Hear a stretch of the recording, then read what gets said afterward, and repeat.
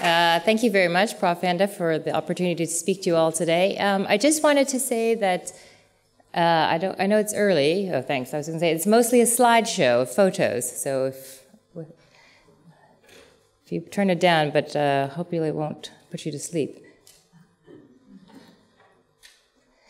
Um, so today I'd like to speak about 20 minutes or so on uh, MSF or Médecins Sans Frontières. Um, and perhaps a little bit about what our role is now in the global surgery arena. Um, just to say that I am on the board of MSF Southern Africa, um, it's a volunteer position. So, what we're going to talk about today is just to do a bit of an introduction of what MSF is, who we are, um, move on to MSF surgery, and then talk about the role of MSF in global surgery. So, MSF is an international medical humanitarian organization which was founded uh, 46 years ago by doctors and journalists. And we really organize ourselves on three principles to be independent, to be impartial, and to be neutral. Uh, our mission statement is to provide assistance to populations in distress, to victims of natural or man made disasters, and to victims of armed conflict. Um, we work in 60 countries worldwide, um, and we have an operating budget of 1.2 billion euros annually. Um, most of that is concentrated in the Middle East, in Asia, as well as sub Saharan Africa, uh, which is mostly where I've worked. Um, the top countries of where the money is spent is on that upper right hand corner. I don't know if that projects, but essentially it's mostly sub Saharan Africa. The number one country is the DRC. Organizationally, MSF is made up of 37 different sections and loosely organized by an international office. I like to say it's sort of like the EU, so like a, or the US, a federation of states. Um, it probably works about as well as the EU in that way. Um, so in the middle, we have the international office, and then we have five operational centers, or what we call operational departments. Um, those are all located, as you'll notice, in Western Europe, so Brussels, Paris, Amsterdam, Geneva, and Barcelona. And each of those operational centers or departments have other country or regional sections associated with those. So, for example, the UK is associated with the Amsterdam Operational Center. This is actually quite important in, organizationally because that whole operational department will function independently from other ones. So much to the fact that, for example, in the DRC, all five operational centers are working there on different projects at the same time. Um, so organizationally, uh, let's say you volunteer with MSF, and I can explain a little bit about how that works later. Um, well, the operational centers will each have a country coordination team. So, for example, in Burundi, um, where Amsterdam is operating there, then they will have certain specific field projects. So, for example, uh, a HIV project, and then an, a field coordinator will run a field team there, and then you'll see the rest of the different types of people that might work there, including doctors and surgeons. Um, where is all that money coming from and going? So again, I mentioned uh, annual operating budget of about 1.2 billion euros, and most of that comes from private donors, so 92% from private donors. And most of those are individual donors, so people like you and I. Um, we do not take money from governments. We have not taken money from the US government for at least 20 years. We did take money from the EU until last year. Um, we, I'll, I'll, explain later, but we work a lot with refugees and migrants, and there was a big issue with the EU Turkey deal um, which had a big impact on the number of stranded migrants and now resulting um, people living in refugee camps. And so MSF has decided to distance itself from the EU as well. Um, how the funds are used, so almost 90% of the money goes directly into programs and very little into admin, as you can see. Um, where do we intervene? What types of interventions do we make? So the number one is to work in conflict areas, so war, natural disasters, um, we've been quite active in earthquakes um, recently, but hurricanes as well. Um, again, I mentioned refugees and displaced persons. Um, with epidemics, I'll talk a bit about Ebola later. Psychological trauma, um, neglected diseases, which include HIV, exclusion of care. So that would be persons, for example, living in prisons against detainees, people who don't otherwise have health care rights.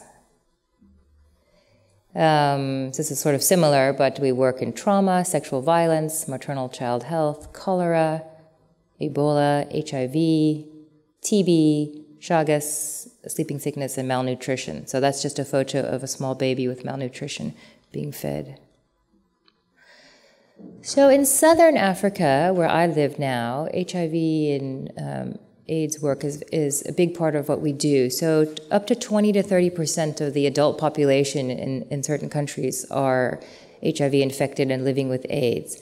Um, MSF was quite uh, a big player in South Africa to bringing antiretrovirals to South Africa, and they were one of the first providers of that in the 1990s.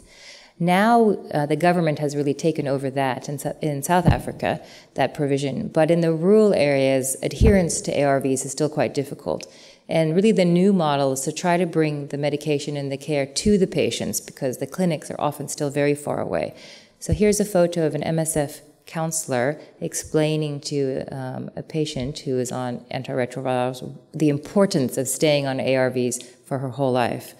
Um, MSF is also big on organizing sort of peer support groups where perhaps one HIV infected patient would go to the clinic a month and collect the medication for all the other patients um, and then help distribute that um, and sort of figure out the signs and symptoms of who would then need to go in on their own. But this has really improved adherence for us.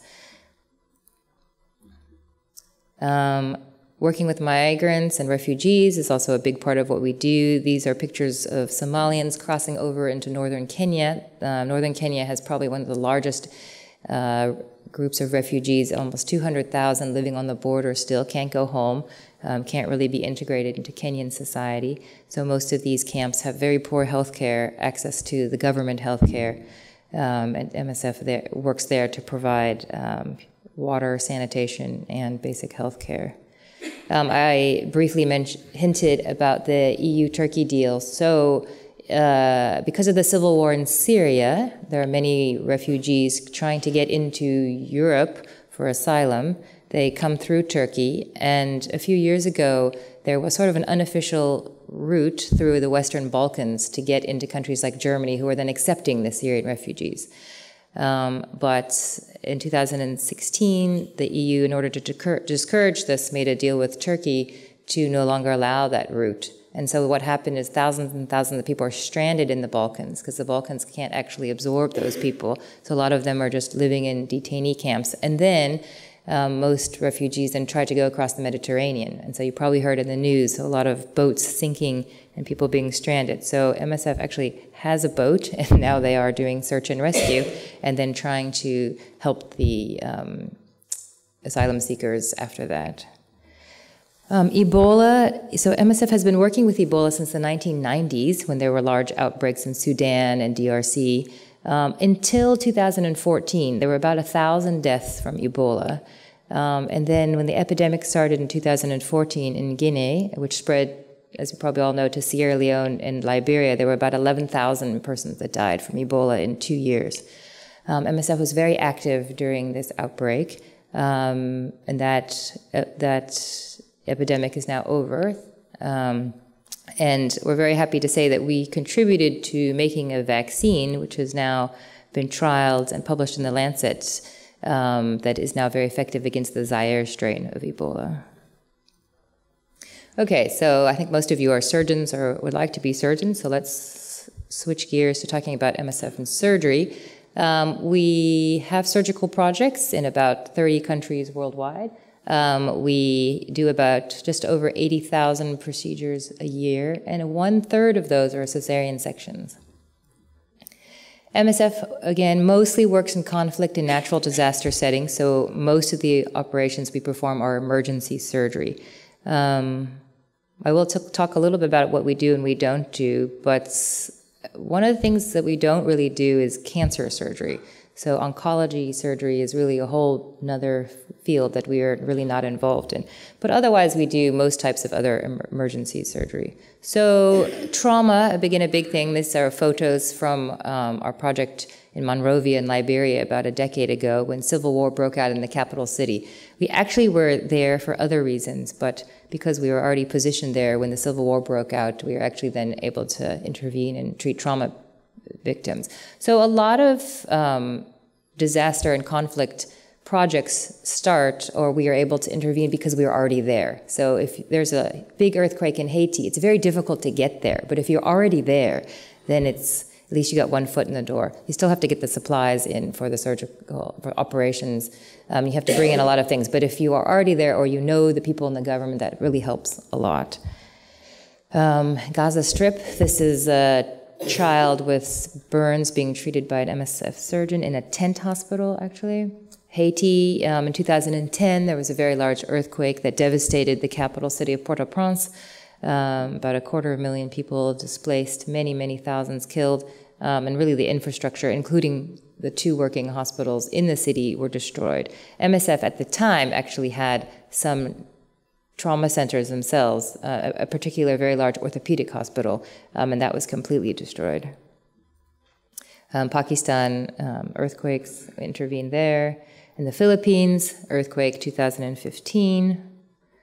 Um, again, we also work in conflict settings, and really here we pride ourselves on being impartial and neutral, meaning that we tr would treat both sides of any conflict. So wounded combatants, um, innocent bystanders, we don't ask questions, uh, we treat. And then we also believe and feel that our hospital is a safe zone for fighting. And in general, throughout the world, our hospitals have been considered that sort of hands off to the fighting. Um, in many cases in Congo, there was when I, when I, was there, there was fighting all around the hospital, but they knew that the hospital was supposed to be a safe zone.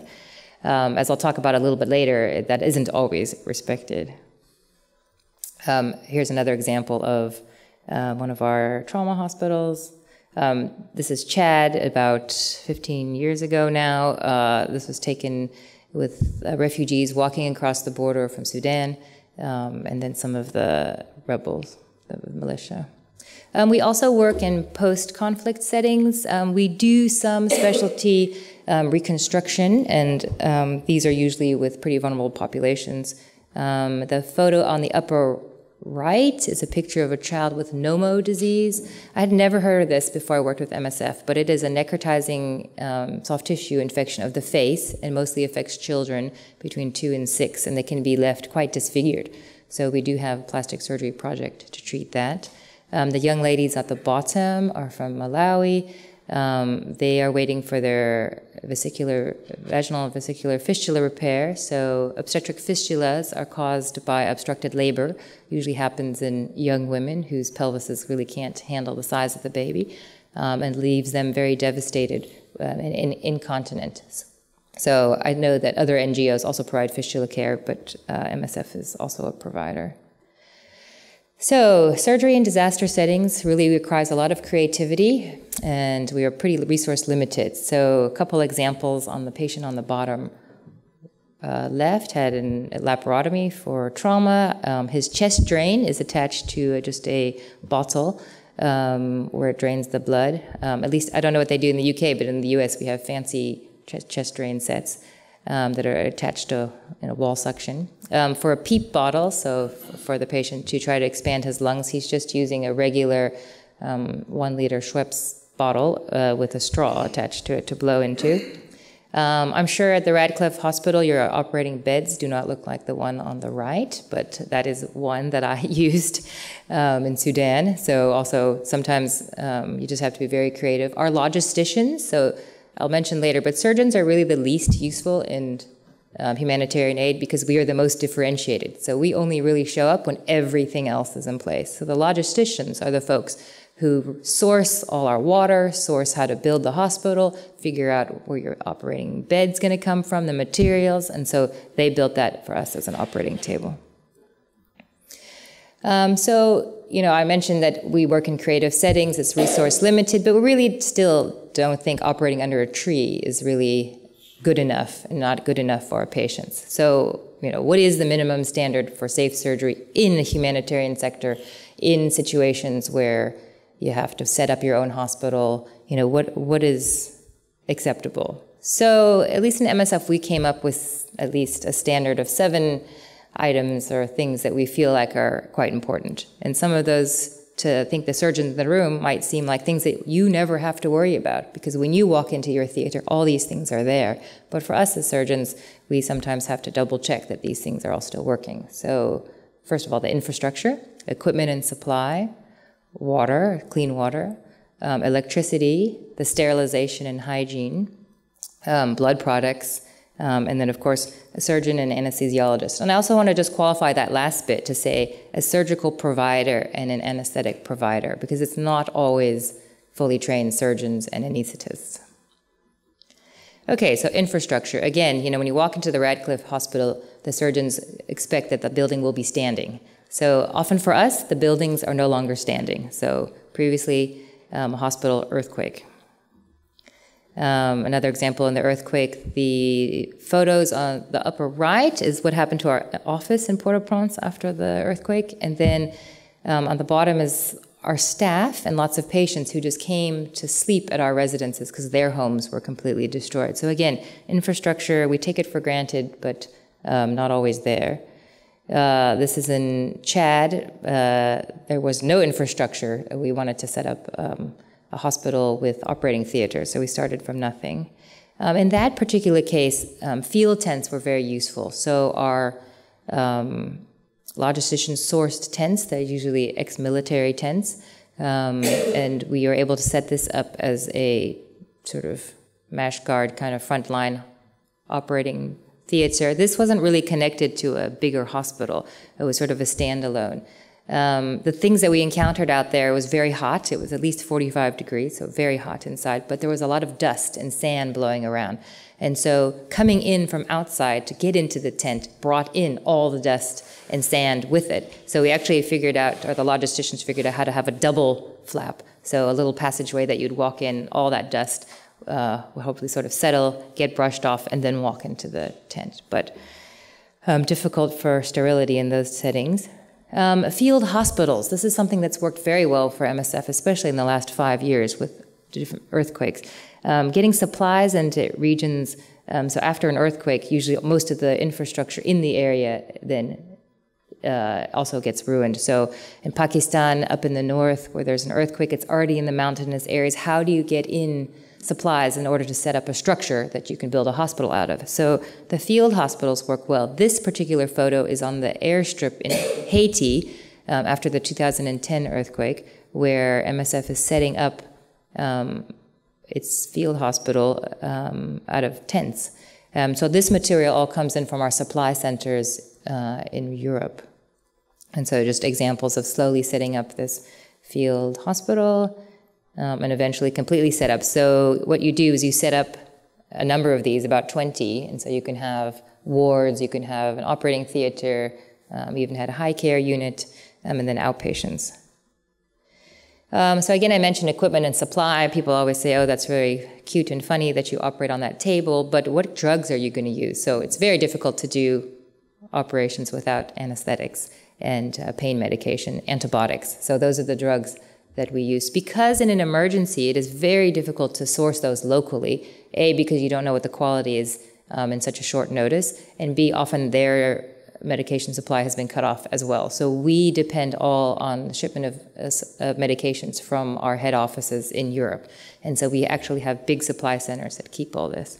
Um, just out of interest, too, we have big sort of trauma kits that it's all pre-packaged and you open it up and it's for treating 500, 1,000 war wounded and it has everything up to a pen to mark the triage to say, you know, who's sick and who's not. So uh, luckily over the years, we sort of thought of everything.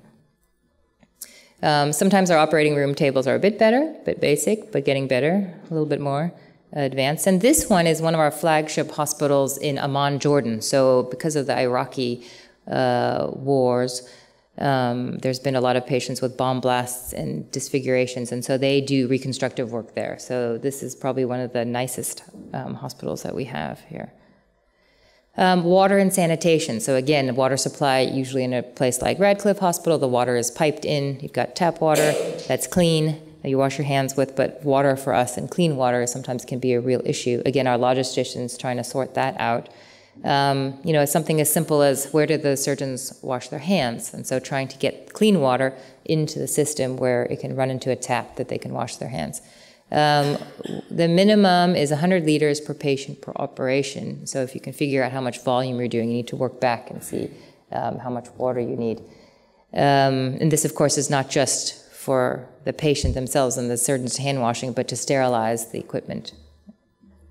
Um, electricity, again, something that we all take for granted in the Western world, but um, for most operations, we need lights, and ideally, we need some kind of electrocautery system. Um, this isn't always electricity 24 hours, seven days a week. Sometimes this is just um, a generator that will provide electricity um, during the times the theater is running. Um, similarly, for sterilization, in most Western countries, we use uh, electricity for sterilization.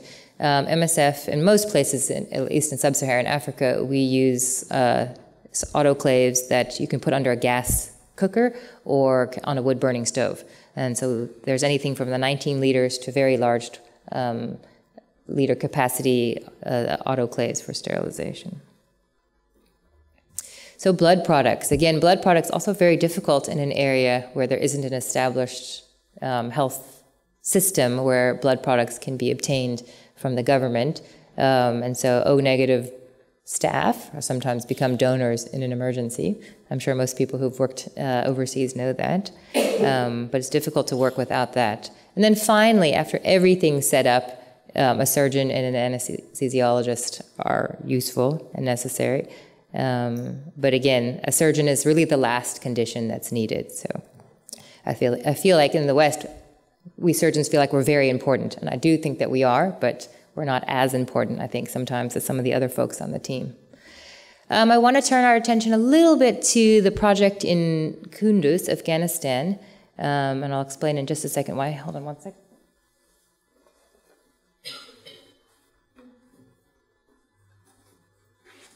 Um, sorry, there's just have one thing to read to you. I can find it. Yeah. So, um, Afghanistan uh, is a very large country and very isolated in terms of its infrastructure. Um, Kabul is the capital city, and that's sort of located in the middle of the country, a little bit on the northeast. But in the northeast section of Afghanistan, up where you see the little star where it says Kunduz, is really isolated from the rest of the country. And that um, in, has, is a Taliban occupied region. And obviously, there's a lot of fighting going on there. And the problem was that the severely injured patients really had nowhere to get care. They could go to Kabul, but it would take about two days to get there. Or they could go into neighboring Pakistan, which is east and south of them. Um, but again, not really a viable option. And so MSF uh, noticed that they really needed to provide care in that area. Um, and so in 2011, MSF took shipping containers and turned it into a functional hospital. Um, in 2012, because there were so many patients coming to this area, they extensively renovated this into a high level trauma center, which cared for about 400 patients daily and did about 4,000 operations annually. It really became one of our flagship hospitals worldwide, had a four bed ICU and three operating theaters. There's just a bit of a schematic, but and you won't be able to read that, but just to say we had an ICU there, there was a laboratory, there was an emergency room, um, there was an x ray department, there was a mental health facility, a physio area, and then the operating theaters.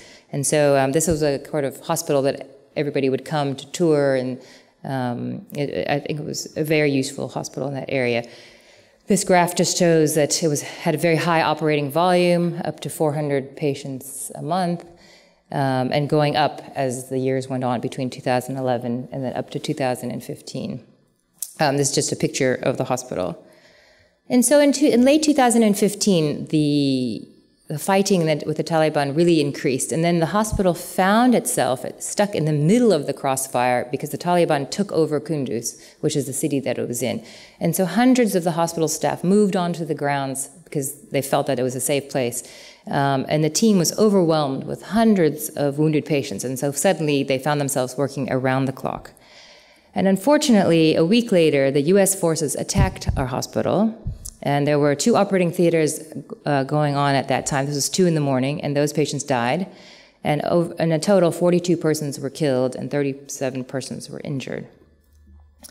Um, just an example of what the main corridor down the hospital looked like and what it looked like after the bombing.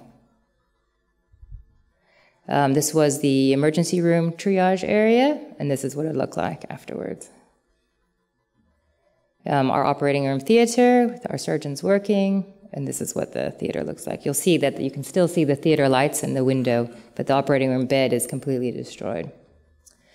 So after that, MSF spoke out. So MSF in general tries to remain neutral, impartial, but we really felt that this was bombing our hospital really did cross the line. And so we made a statement to say an urgent need for a widely agreed upon and unambiguous recognition of the practical rules under which hospitals operate in conflict zones.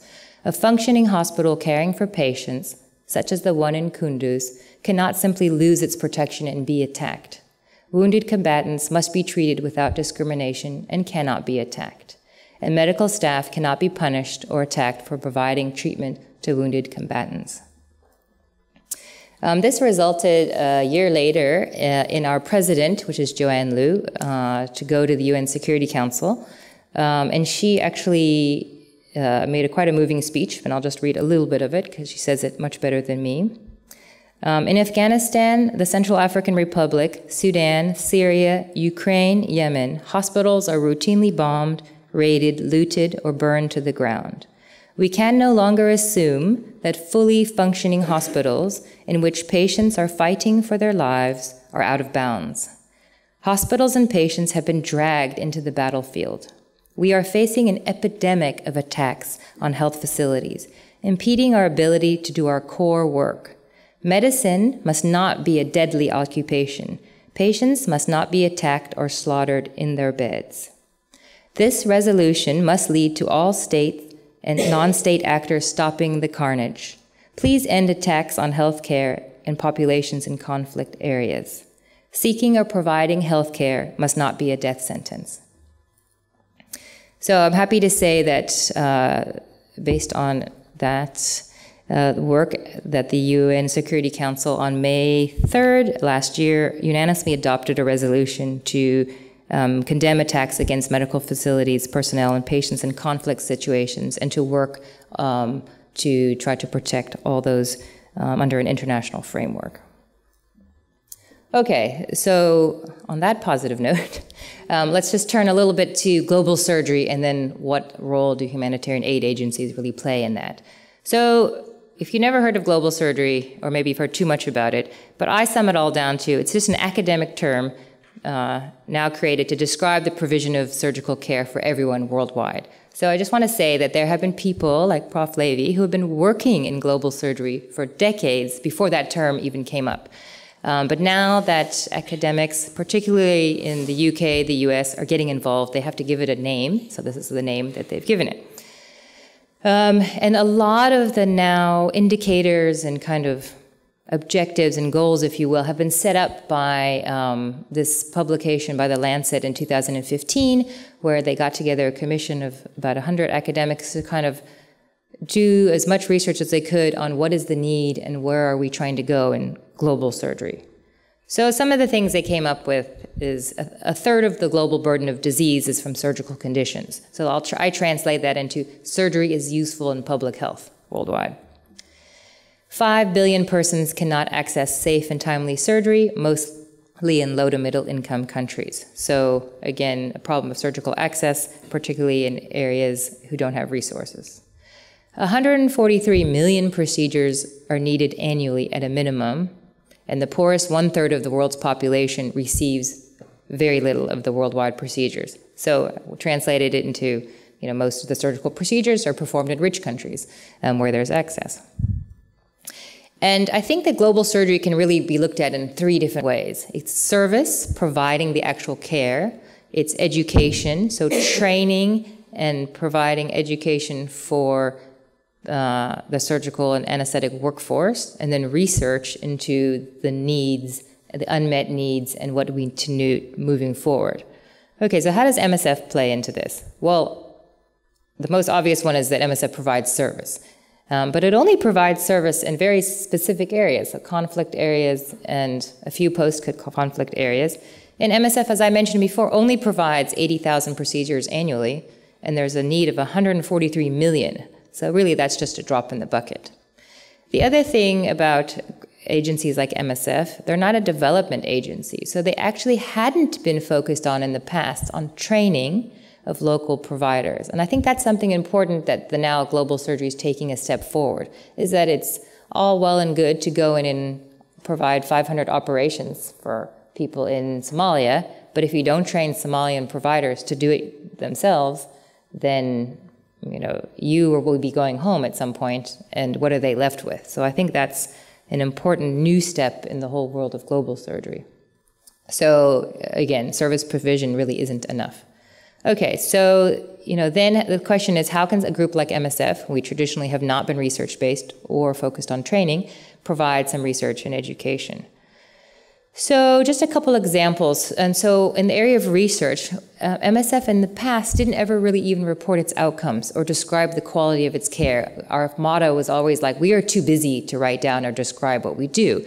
But then, if you do that, nobody knows what you're doing. And more importantly, nobody can repeat it anywhere else because they didn't know what you were doing. So, even about seven years ago, we just started trying to look at our surgical data. When I came on board to MSF, we had electronic databases of our operations, but nobody ever looked at them. It was only used to report back to the operational centers, okay, we do this many surgeries every year, but that was about it.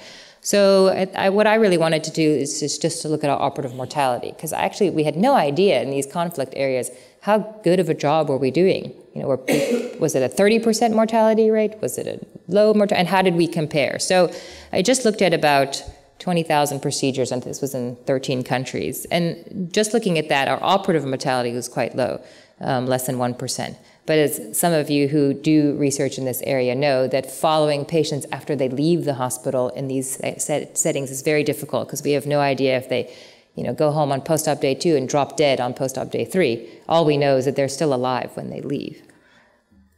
Um, because again, we work a lot in conflict areas. Um, this was just an article on rethinking surgical care in conflict. So again, the, the press and even we thought that most of the care that we do in conflict areas is war wounded, amputations, XLAPs, removing bullets. Um, and so when we were planning on who to send to these areas, we always wanted our surgeons to have trauma experience, trauma experience. But actually looking at our data, we realized that even in those areas, a third of what we do are cesarean sections. And one of the issues is that when we recruited European, Canadian, Australian, American surgeons. Thought they were pretty good at trauma, but they had no idea how to do a C-section. Um, and so we really had to retailor our training once we looked at this.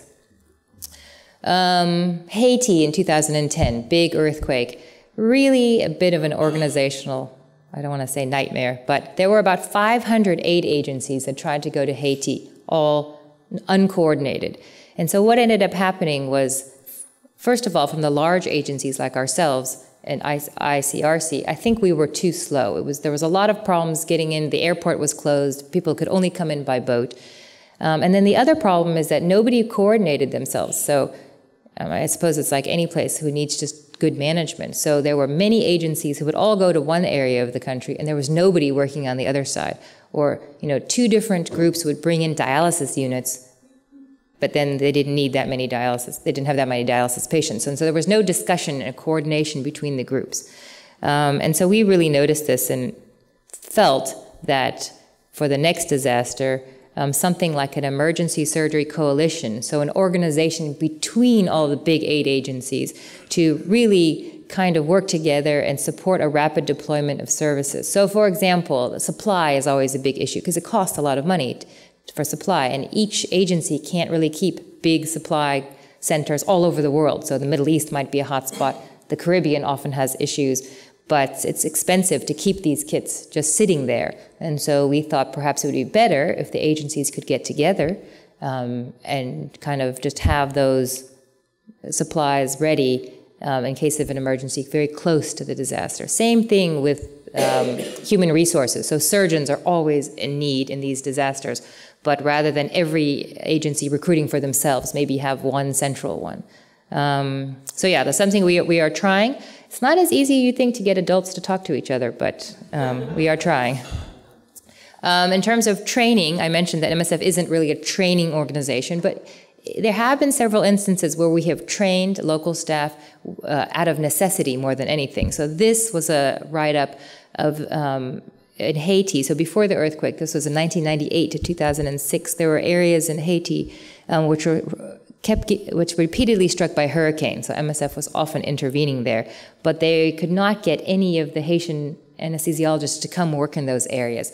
Um, it was a rural area. You know, most specialists, specialists don't want to work in rural areas. And so what MSF did, they identified Haitian nurses um, in their hospitals and said, okay, we're going to teach you how to do the anesthetics.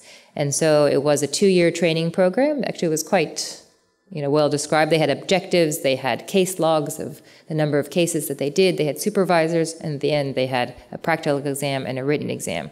And so um, we did a write up of their training program, but what we were interested in is to see how many were still working in Haiti afterwards and could they find jobs in Haiti. So it looked like 10 years later, 80%, so it was 24 um, nurse anesthetists, were still working in Haiti, um, which we felt like that was pretty good. Um, interestingly, the other 20% had immigrated to the US to work. So um, similarly, uh, we did a write-up of surgical care in Somalia. So Somalia and Mogadishu um, is an area that expatriates, meaning surgeons and anesthesiologists from other countries like Europe and the US would come to work. But because of the fighting, they would often be evacuating. So they would come in for a few weeks, operate, and then have to go back out again, usually to Nairobi. And then the question was who was doing the operating when those surgeons and anesthetists weren't there? And they actually trained the scrub nurse um, and physicians who are non-surgeons and gave them the skills to do the operations.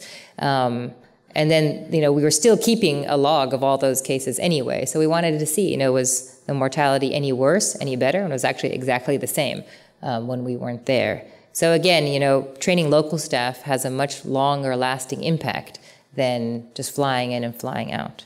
Um, also, you know, that local staff are often quote unquote stuck there because they may not have the papers to go elsewhere. And so it's, you know, in the end, in the long run, probably better for the community if you train them than to train an expat and ask them to go and live there. So.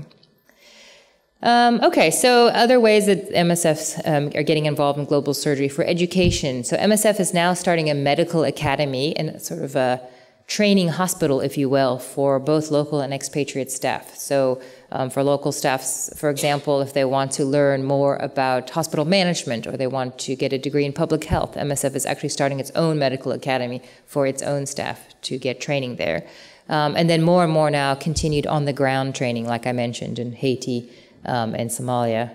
So research, so there is now an operational research division, um, which is now reporting outcomes and trying to improve the quality of care. That's not just in surgery, but in HIV care, Ebola, um, malnutrition. And that's very important because, again, humanitarian aid, the focus is not always on how well you do it, it's just how fast you can do it and that you should just deliver the care.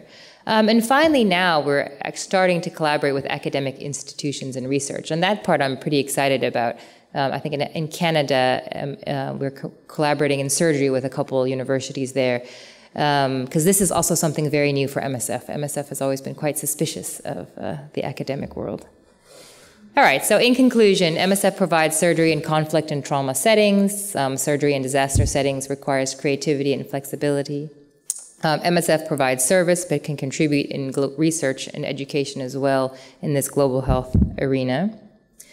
Um, and I just want to take that MSF hat off and just say that I now work for the University of Cape Town. Um, we are very excited to say we are starting a Center for Global Surgery and we welcome any international collaboration, so I'm happy to discuss with anyone afterwards.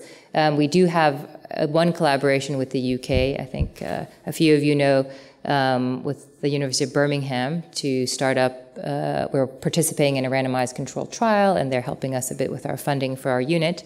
Um, we also collaborate with a couple universities in the US, but we're always looking for more collaborators. I feel that in South Africa, you know, we have a wealth of data um, and a lot of interesting research questions, but we need smart folks like yourself who have more of the, you know, research skills, um, trial skills, um, biostat skills, um, model, healthcare modeling skills to come in and collaborate. So we're always happy to chat.